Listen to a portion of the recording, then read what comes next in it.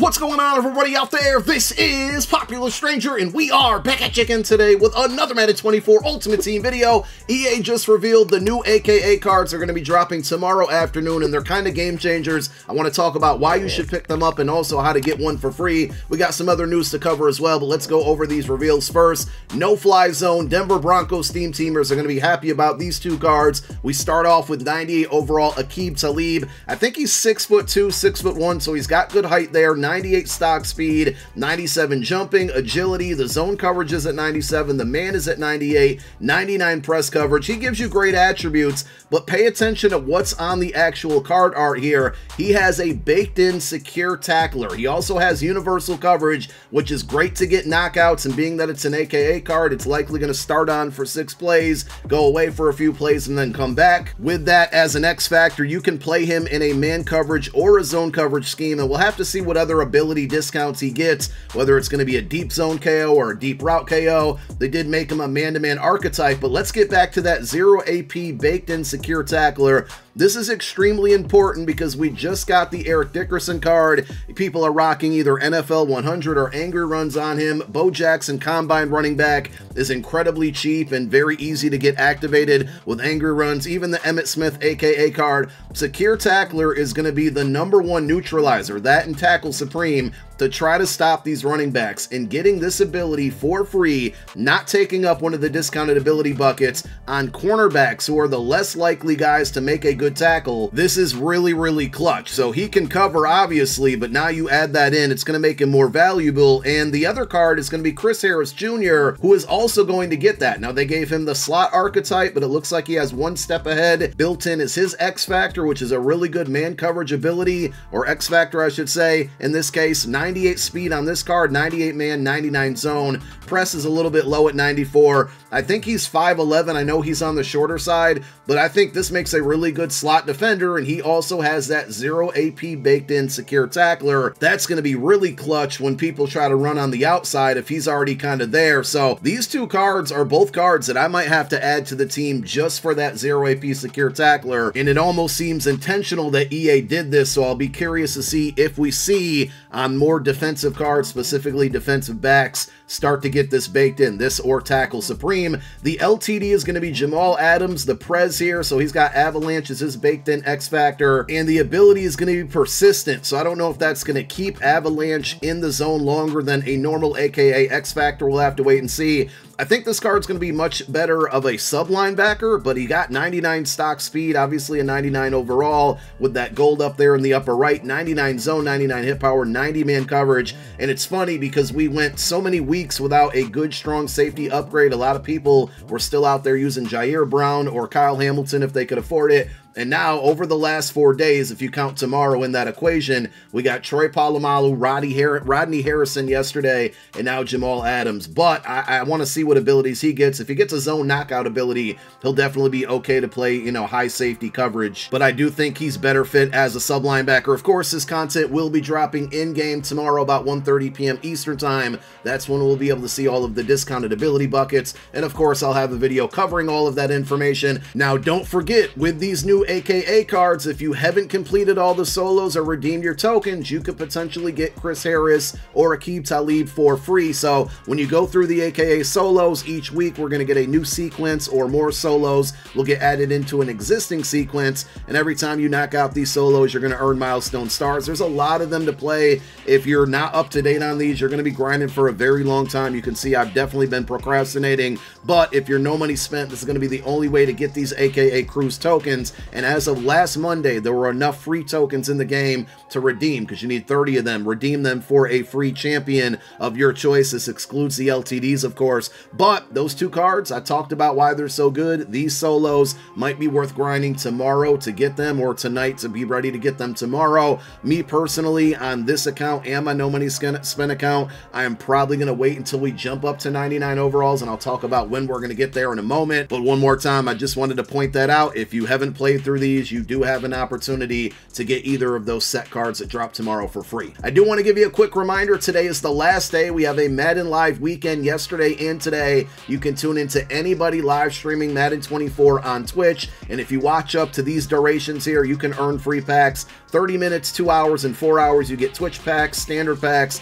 1 hour, you're going to get a Pro Max Fantasy pack. In 3 hours, you get a Ring of Honor pack. So try to tune in today if you haven't done it yesterday. I should be live streaming at some point later this evening, probably around 6, 7 p.m. Eastern Time. So if you guys want to follow me on Twitch, come through and hang out. We'll be using some of the newest cards in game so you guys can see that in action and also listen to the best playlists on Twitch and come get your free packs. Hopefully you get something good out of it. But this does end at midnight Eastern Time, so it's your final chance to redeem these. Let's talk about what's upcoming this week more than likely and also what's going on in MUT. Just a quick update that's not really an update regarding the John Madden Welcome Pack. I know a lot of you still have never received that and probably still haven't gotten it. Hopefully tomorrow, I mean, I didn't expect anything to happen on Saturday or Sunday, but hopefully tomorrow they start to send out make rights for that. And I think it also goes hand in hand with the Golden Ticket Opportunity Pack. If you didn't receive this, you'll probably get this eventually as well. But this is going to open up on Tuesday evening about 7.30 p.m. Eastern Time, and it's going to be your shot, your one shot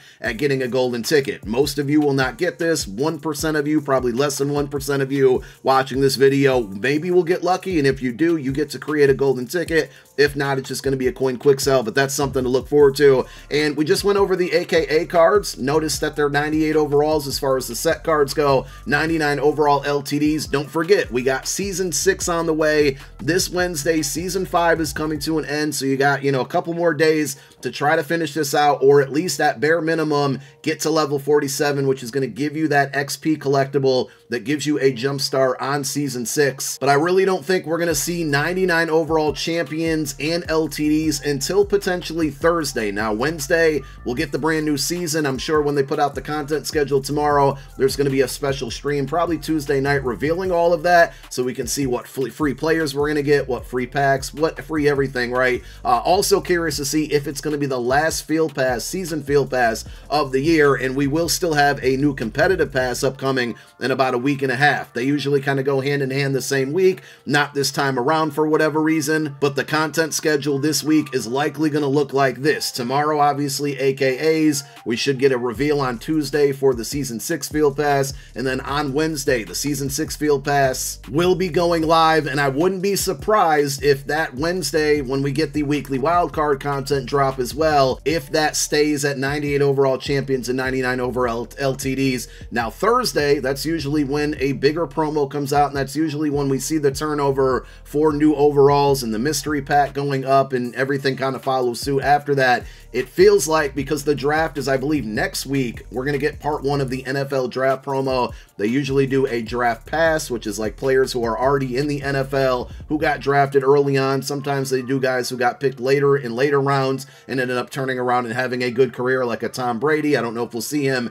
get a card in the game, but this could be a good promo for it. That and Super Bowl are usually the two opportunities. But we should see NFL draft pass this Thursday, and I think that's when we see 99 overall champions and 99 overall LTDs. And then the following week, we're going to get the NFL draft present, which is usually going to feature the newly draftees that get drafted into the NFL. You know, Caleb Williams will likely be the number one pick, so he's going to get a 99 overall. And all of that will be confirmed tomorrow when they put out that content schedule. And again, of course, I'll, I'll be dropping a video going over it. Uh, just one other kind of mini update with the Ring of Honor. You know, this promo or this field pass was a really quick one to complete. I know a lot of people, and I covered this in a video on Friday, are potentially holding out on not grinding through this field pass, thinking that the season XP in this field pass will go towards season 6 once Wednesday comes around, and I'm not 100% sure that's going to be allowed or be the case. I think they're going to change these XP rewards into coins, but, you know, if you don't have a lot of coins and you don't really care about grinding the Season 5 Field Pass,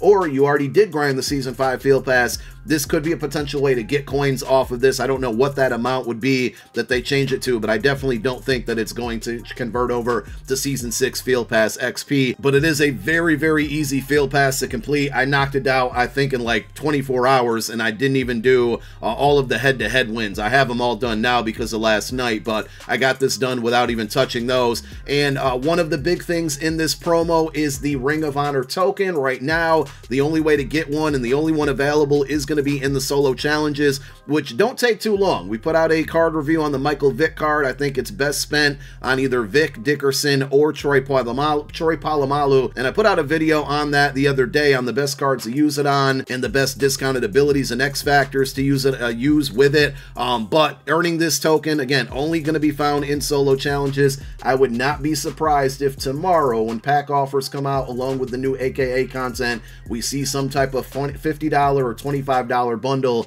in the game that gives you some Ring of Honor content, but the main draw from it is going to be a Ring of Honor champion token. So we'll pay attention to that tomorrow, but that's all I got for you now. Thank you guys for tuning in to another video. My name is Popular Stranger. I'm out. Peace.